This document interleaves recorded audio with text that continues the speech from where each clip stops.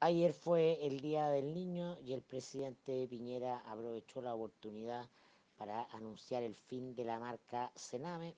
Lo hizo en uno de los lugares emblemáticos donde bajo el paraguas de esta institución se violaron viol sistemáticamente derechos humanos de niños a cargo del Estado. Esto es en Playa Ancha, en la región de Valparaíso. En paralelo, el fiscal que lleva el caso Sename an anunció las penas del infierno contra todos los responsables de que el Estado haya durante todos estos años, desde el retorno de la democracia, sido responsable de violar los derechos humanos de los niños.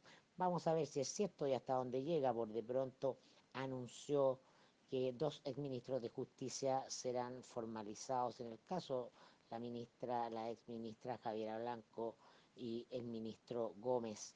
Eh, el asunto, en todo caso, si queremos tomarlo en serio, implicará hacer por primera vez en Chile un verdadero juicio de Nuremberg en materia de violaciones a los derechos humanos. Este juicio de Nuremberg no se hizo respecto a las violaciones a derechos humanos en dictadura.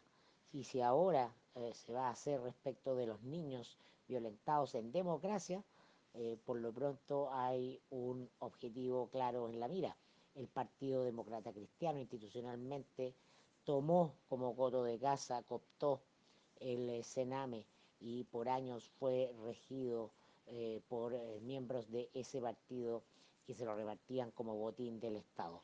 Vamos a ver la verdadera voluntad política de la Fiscalía en este caso para hasta llegar hasta el fondo de esta situación.